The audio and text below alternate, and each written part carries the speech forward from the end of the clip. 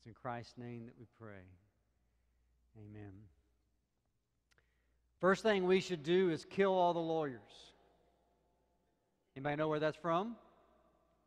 Other than your own personal thoughts, you know, anybody know where that's from? Nobody? Shakespeare, all right. Thank you, our school teacher back there in the back. Or you were Googling one of the two, I'm not sure. But uh, that's a line from Henry VI. Uh, one of the characters says the first thing we should do is kill all the lawyers. We, we have this kind of love hate relationship with lawyers and courtroom and all that kind of stuff. So, on one hand, we love to tell jokes like, what do you call 5,000 lawyers in the bottom of the ocean? A good start, that's right, yeah. Uh, so, we love these kind of jokes, but on the other hand, we love courtroom dramas. We love legal thrillers and books and movies and TVs, and, and it's I mean, it's nothing new. Think about how many, you know, law and order kind of shows you can think of that are on the TV today. We, we love these things. And they go all the way back to, you know, Perry Mason back in the 50s. You know, remember Perry Mason? Come on, Homer. I'm sure that was your generation back there. Uh, so we love all these things, right? Homer's always picking on me, so I'm just trying to pick on him back, you know. uh, so we love all these things, but, and they go all the way back, not just to Perry Mason and not just back to uh, Shakespeare. They really go back to the time of Christ. It's really interesting in, uh, so the gospel writer Luke, Luke writes a two volume series. He writes the Gospel of Luke, which is the story of the life of Christ, and he writes the book of Acts, which is the story of the spread of the gospel to the furthermost parts of the earth. Both of those, he spends extensive time with kind of legal drama, courtroom drama. So in the Gospel of Luke, he tells us of the legal drama surrounding the trials of Jesus. So Jesus goes through five trials. He's arrested in the garden. He appears before the high priest and then before the Sanhedrin, then before Pilate, then before Herod, and then before Pilate. And it takes him 50 verses to tell the, the legal drama of Jesus. Then you get to the book of Acts, and Luke describes in great detail the legal drama of the Apostle Paul. Paul's arrested in Jerusalem in chapter 21, and he goes through five trials as well. He goes through a trial with the tribune that we'll see, and then another trial before the tribune, and then before the governor Felix, and then the governor Festus, and then before King Herod Agrippa. Five trials. The Gospel of Luke tells us in 50 verses the trials of Jesus. It takes 165 verses in Acts to tell us the legal drama of Paul. Six chapters of the book of Acts is given to the legal drama of Paul. 21% of the book. Now, why in the world does Luke spend so much time over the legal drama of the Apostle Paul? Well, scholars offer this reason, and I think there's some truth to this. One of the things that Luke is trying to do here is to demonstrate to the Roman government that Christianity should be accepted as a legal religion in Rome. So Rome had modified religious liberty. As long as your religion was on the list, then you had religious freedom. Judaism, of course, was on the list, but this new thing, Christianity, after the resurrection of Jesus, wasn't on the list. And so Luke here makes this case that Christianity is no threat to Rome. In fact, at the end of all these trials, King Herod says to Paul, This man has done nothing worthy of being in prison and nothing worthy of being put to death. This Christianity is no threat to the Roman Empire. So maybe that's why Luke is doing this. But what we're going to see today, more importantly, is in one of these trials, it appears that Paul is on trial for the gospel, but what actually we time, find out is that Felix is the one who's on trial. The gospel has this ability to turn everything upside down. And we see the gospel is relevant even in the courtroom. So, Acts chapter 24, if you want to read the same translation I'm reading, it's in the bulletin there. Uh, let me just summarize some of this and we'll read some of this. So, in Acts 24, this is the third trial. This is the trial before the governor uh, in Caesarea. So, Paul was in the temple in Jerusalem of course, he's been preaching Jesus is the Messiah. Many Jews do not believe that. So a mob starts. They drag him out of the temple. They're basically going to beat him to death.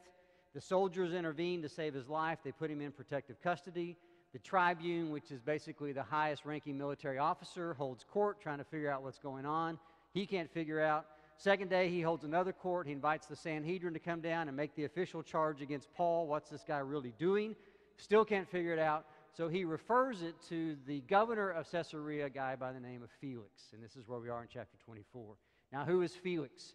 What we know from history about Felix is that Felix was a very corrupt governor. The one thing that's labeled on him through all of his life is he, he accepted bribes, he accepted graft and corruption, he abused his power. Um, and so we know that about Felix. We're also going to meet his wife, a lady by the name of Drusilla. We find out about Drusilla as she's from a Jewish background, but also Drusilla was very, uh, very attractive, historians tell us, and so she kept catching the eyes of different kings. And she was married to the king of Syria, and Felix fell for her and so enticed her to leave her husband and come marry him. And so uh, to abandon her husband and come marry him. So this is Felix and Drusilla, right? Great couple. Uh, corrupt power, little immorality on the side. This is who Paul appears before. So uh, Tertullus is the lawyer for the Sanhedrin. He shows up before Felix and is going to make the charge against Paul. Why should Paul be put to death? Three charges. One, he stirs up riots. Two, he's a leader of this re- illegal religious group, this sect called the Way. And number three, he was profaning the temple. That's the charge that he makes. And then in verse 11 of chapter 24, Paul begins his defense. You can verify that it is not more than 12 days since I went up to worship in Jerusalem. And they did not find me disrupting uh, with anyone or stirring up a crowd, excuse me, disputing with anyone or stirring up a crowd, either in the temple or in the synagogues or in the city. Neither can they prove to you what they now bring up against me. But this I confess to you that according to the way, which they call a sect, I worship the God of our fathers, believing everything laid down by the law and written in the prophets. So Paul's saying the way is not a new religion, this is the fulfillment of Judaism. I believe what the law and the prophets were pointing to the Messiah. Jesus is the Messiah having a hope in God, verse 15, which these men themselves accept, that there will be a resurrection of both the just and the unjust. Key phrase. There will be a resurrection of the just and the unjust. He continues in his defense to basically say, when I was in the temple, I wasn't causing problems. I was, I was giving an offering. But really, the reason I'm on trial before you here today, and he repeats it in verse 21 it is with respect to the resurrection of the dead that I am on trial before you this day. He believes in the resurrection. He believes in the resurrection of Jesus Christ, which proves that he's the Messiah, and he believes that there is a resurrection of the just and the unjust, that all people will be raised. That's why he's on trial. So Felix, verse 22, having a rather accurate knowledge of the way, put them off, saying, When the Lysias, the tribune, comes down, I will decide your case. Then he gave orders to the centurion that he should be kept in custody but have some liberty, and that none of his friends should be prevented from attending to his needs. Well, we find out later what he's really hoping is he's going to get a bribe. Just, Paul, if you slip me a little cash, this whole thing would go away. That's really what he's hoping. After some days, Felix came with his wife Drusilla, who was Jewish, and he sent for Paul and heard him speak about faith in Christ Jesus. Now, why is Luke giving all this legal drama stuff, all this courtroom stuff? How is this kind of edifying to the soul at all? Here we get to the point. How do you share the gospel with the person who holds the keys to your jail cell? How do you present the gospel to the person who holds the keys to your jail cell? He can unlock the cell and set you free. How are you going to share the gospel to that person? I mean, I can think of some good ways to do it. God loves you and has a wonderful plan for your life right? Felix, you should give your life to Jesus because he'll make your life great. It could be your best life now. Uh, all your problems will be solved. He'll help you become prosperous and more powerful than our. You should you know, give your life to, I mean, on and on. You could think of ways to share the gospel in that scenario. Big shocker, that's not how Paul shares the gospel. I find it fascinating how he how he reduces the gospel to these four ideas that are just so incredible. So as he reasoned about righteousness, self control, and the coming judgment. Felix was alarmed and said, Go away for the present. When I get an opportunity, I will summon you. At the same time, he hoped that money would be given him by Paul. So he sent for him often and conversed with him. When two years had elapsed, Felix was succeeded by Porcius Festus. In desiring to do the Jews a favor, Felix left Paul in prison. Luke just says Felix was succeeded. What actually happened is the emperor, who was Nero, recalled Felix from his position because he was so corrupt. Nero, no paragon of virtue himself, you know, so when you're too corrupt for Nero, you're way off the deep end, right? So that's why he was recalled. So look how, how the Apostle Paul just boils the gospel down to the essentials with these four concepts. I put them in your bulletin just so you can see them very clearly. The first thing he says to, to Felix is there is a resurrection of the just and the unjust.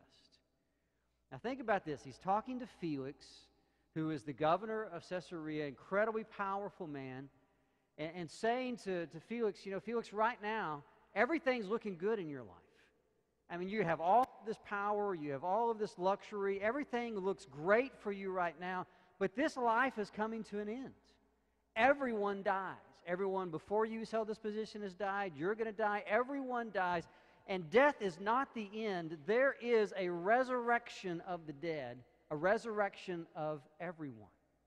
Now, just chew on that idea for a little bit. If, if your life extends beyond the 70, 80, 100 years, whatever God gives you to walk this earth, if your life extends beyond that, how important is it what happens to you after this life is over?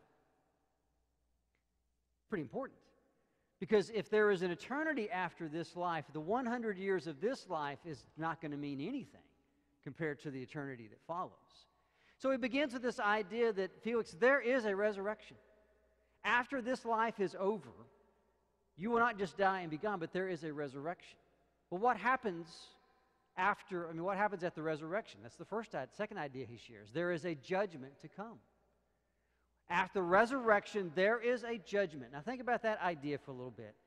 To say that there is a judgment, number one, says that there is a, an authority over you greater than you that will determine something about your life. So here's Felix, who, I mean, really, he's the most powerful person in his little world. I mean, the emperor obviously was above him, but he's pretty high on the food chain. And here's Paul saying to him, I know you think you're really high up, but there will come a time when you will stand in judgment, and there will be authority over you that will make a judgment. And this judgment will determine what happens in the life in the future. Right? So the determination becomes very simple. Then what's that judgment based on? What's the criteria of the judgment? So we, uh, uh, we just took uh, my, my son to college on Monday. So my daughter's senior in high school. So we're really in that uh, admission to college. How do you qualify for scholarship kind of conversation all the time? So this idea of criteria is very alive for us. So so what criteria do you have to get into that college? What are they looking for? This scholarship, what's the criteria? Is it a test score? Is it, you know, what are they looking for?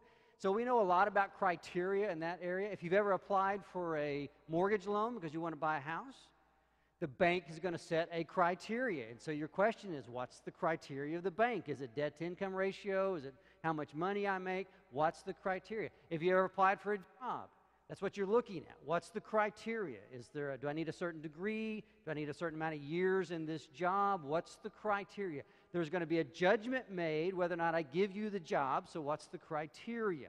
So when Paul says to Felix, "Look, Felix, there is a resurrection of the just and the unjust. There is a judgment that is to come." The idea that there is a criteria and what's the criteria is the obvious question. So what's the third thing that Paul talks about? talks about the resurrection of the just and the unjust, says there is a judgment to come, and the third thing he talks about is righteousness. Righteousness. Now, why does Paul talk about righteousness? Well, one reason because it goes to at judgment day, what is the standard of judgment? What is the criteria? So Paul's talking to Felix and says, Look, when this life is over, Felix, there is a resurrection, there's a judgment to come and there's going to be someone making a determination about your eternity. And it's not going to be based upon how much power you had in this life. It's not going to be based upon your lineage. It's not going to be based upon how much favor the emperor gives you. It's not going to be based upon how much power you have, how much money you have. It's not going to be based on any of that. What it's going to be based upon is the righteousness of God. And if you fall short of that standard, the righteousness of God, then your eternity goes one direction if you can meet the righteous standard of God, then your eternity goes another direction. Now, guess what, Felix? Everyone falls short of the righteousness of God. Some of us more than others. We would say that jokingly. But compared to the righteousness of God, the difference between me and Felix is really negligible. Right? We all fall short of the righteousness of God. And as Paul was talking about righteousness, as he started by talking about the righteous standard of the judgment, I have no doubt that Paul began to talk about the righteousness of Christ. Because when he talked about the righteousness in other scriptures, this is what he talked about. So I put this paragraph in your notes from Romans 3. I mean, when Paul talks about righteousness, these are all the ideas that he talks about. So, Romans 3, verse 20 For by works of the law, no human being will be justified in his sight, since through the law comes knowledge of sin. What Paul's saying there is no one that can, can be righteous in God's sight because we all fall short. Verse 21 But now the righteousness of God has been manifested apart from the law, although the law and the prophets bear witness to it, but the righteousness of God through faith in Jesus Christ for all who believe. For there is no distinction. All have sinned and fall short of the glory of God, and we are justified by his grace as a gift through the redemption that is in Christ Jesus, whom God put forward as a propitiation by his blood to be received by faith. So when Paul talks about righteousness, he always talks about this is the righteous standard of God. None of us get even close to it. But the good news about Jesus is that God has done something for us so that we can meet the righteous standard of God. And I'm sure Paul at this point began to talk about Jesus and how Jesus died on the cross for our sins and for Felix's sins and took all of his sins on the cross and died in his place.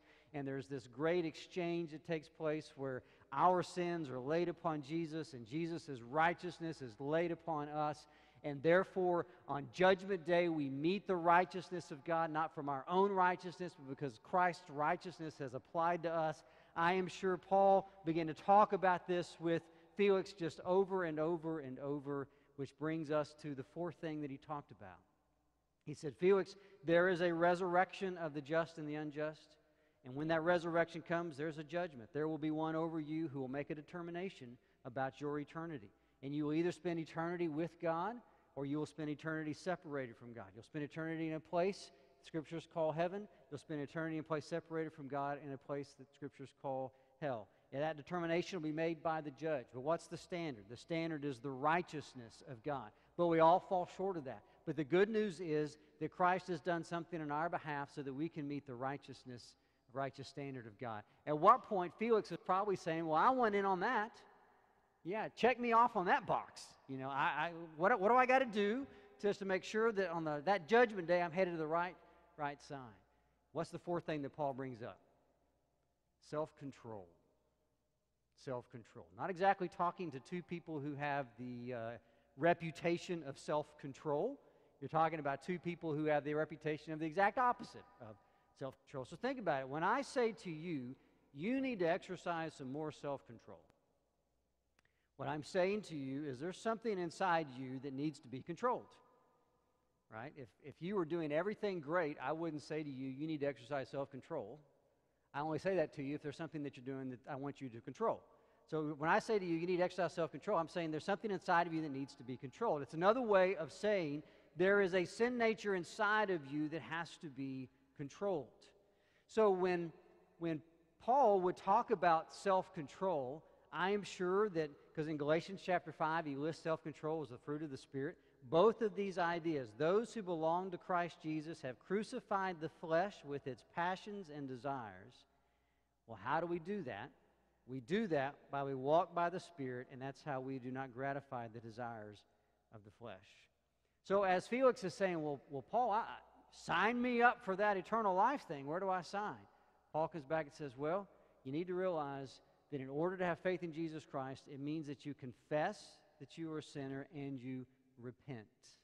And repent is I turn away from my sin and I give you the lordship of my life. And what happens in that is you will receive the gift of the Holy Spirit, and through the gift of the Holy Spirit, you will become sanctified into the image of Christ as you walk away from your sinful desires. Isn't that interesting how just the four concepts, he just lays them out. There is a resurrection of the just and unjust. There will be a judgment day. There's a criteria of righteousness. Christ is how we meet that criteria. And when that happens, we are given the gift of the Holy Spirit to put to death our sin nature and to have self control. But what's Felix's reaction to the gospel? The ESV says he was alarmed. The word there literally means terrified. What do you think terrified Felix as he heard there's a resurrection, there's a judgment, righteousness, self control? What, what, terrified Felix? Was he terrified because he got a picture of Judgment Day and he knew that uh, if Judgment Day were to come today, he would be spend eternity in this place called hell? Is that what terrified him? Or was he terrified by the idea that if I put my faith in Jesus, I'm no longer going to be in charge of my life. Jesus Christ will be in charge of my life, and He's going to lead me a different direction, and I don't want to go that way. I don't know what terrified Felix, but his reaction was he said, Go away, and when I get an opportunity, I will summon you. Or the NIV says, When it's convenient to me, I'll call you back. How many people have said that to the gospel of Jesus Christ? You know, I, I'm young. I'm just having a good time. My life's just getting started. I've got plenty of time to talk, and think about that Jesus thing. When I've lived and I've had a good time and, and I've come to the end of all that and, you know, I'm near death, you know, like I'm 40, something like that, then, then I'll get serious about the Jesus thing. But right now, I just kind of want to want to live. There is a huge risk of saying, Go away from me, Jesus. When it's more convenient, I'll talk to you about it. Number one, you are not guaranteed to have another opportunity to hear the gospel. Here, Felix has two years where he's yanking Paul's chain back and forth, really trying to get a bribe out of him. Paul's preaching as best he can. Then Nero yanks him back to Rome. We don't know what happens to him in Rome, but we don't ever know that he ever hears the gospel again. So you, you may be sitting here today and, and hearing the way that Paul presented the gospel to Felix, and it suddenly makes sense to you this idea that there's a resurrection, there's a judgment, there is a standard, you fall short. Jesus meets that standard, and to give your life to Jesus means that you have him into your life, and now it's putting to death your sin nature and sanctification and turning away from sin and turning to Jesus. And, and suddenly you're seeing that in a way that makes sense to you, the way that Paul said it to Felix, and you're, you're wanting to say, I, I'll take care of that later. I'll do that later. I just say to you, you're not guaranteed a later. You're not guaranteed that there's going to be an opportunity that you're going to hear the gospel again. But the second thing is even worse. Every time that you say no to the gospel, you have to harden your heart a little bit to say no. And the next time you hear it, you've got to harden it a little bit more. And the next time you hear it, you harden it a little bit more. And what happens is you keep hardening your heart, hardening your heart and you get down to you know you're 40 and near death and think okay now it's time to get you know serious about faith. But your heart is so hard you don't hear. That's a huge risk to take. Some of you here today the holy spirit has been gracious to you today to hear the gospel as paul has presented it to felix and to call you to saving faith today and say stop saying go away from me jesus. I'll take care of that when i get an opportunity but it's time to say yes to Jesus. Well, what does any of this have to do with the Lord's Supper? At this time, I invite our deacons down to get ready to serve the supper. When you're looking at this and think, what, you know, what in the world does a legal courtroom battle have to do with anything with the Lord's Supper? And I, as they're walking down, if I can continue to have your attention, please. Remember what this represents. All of this represents the cup represents the blood of Jesus, the bread represents the body of Jesus. All of this points to the cross. The body of Jesus that was broken, the blood of Jesus that was poured out. Why was Jesus on the cross? The reason Jesus was on the cross was to bear your sins so that your sins can be laid upon him and so that his righteousness can be laid upon you. Do you know why all this happened? is so that Judgment Day can be good news for you. I mean, you got to think about it on Judgment Day. If you get this picture, Jesus comes back, and he comes back with all of his angels. He comes back in his resurrected glory, and you're standing on Judgment Day in front of this, this resurrected, glorified, second eternal person of God. Do you think on Judgment Day you're going to stand there and say, Yeah, I kind of deserve to get into heaven? Or do you think that your overwhelmingness of how short you fall from his glory is going to wash all over you. And then at that moment, this becomes good news. Because I do not stand before the resurrected Christ on Judgment Day dressed in my righteousness. I stand on Judgment Day dressed in the righteousness of Christ. Which means Christ will look at me and say, My child, the one whose name is written in the Lamb's book of life, the one who is redeemed. Welcome to the place that I have prepared for you. It's the glory of this. This is why we celebrate this. So, in a moment, uh, we're going to stand. Uh, in a moment, we're all standing together. The band's going to come and we're going to sing. And when you're ready, we invite you to come down to uh, the supper. If you can confess Jesus Christ as your Lord and Savior, we invite you to participate. If you can't make that confession, just, just stay in your seat and sing. That's fine. But when you come down, this is what I want to invite you to do. One of the deacons will be holding the tray that has the cup. And as you approach that cup, would you, would you meditate on this idea? All of your sinfulness was laid upon Jesus. Every single aspect of your heart, mind, soul, behavior, everything about you that falls short of the glory of God was laid upon Jesus at the cross. Not 75%, not 80%, not 95%, all of it. And when you come and you drink that cup, I just invite you to take a moment there before you drink that and say, Thank you, Jesus, for taking all of my sins on Calvary. Then you will go to the deacon that has the tray with the bread. And I invite you to take that piece of bread and return back to your seat. And before you eat that, I, I want you to, I want to challenge you to meditate on the idea that all of his righteousness was laid upon you. I want you to be washed by the idea the righteousness of Christ has been applied to you. When you stand on the throne of Judgment Day, what God the Father is going to see is the righteousness of Christ. I want that to wash over you. And when you have worshiped and given thanks to God and celebrated that, then you eat that bread as a testimony uh, to that. So, would you join me in a spirit of prayer as we bow our heads and get ready? Ready for this.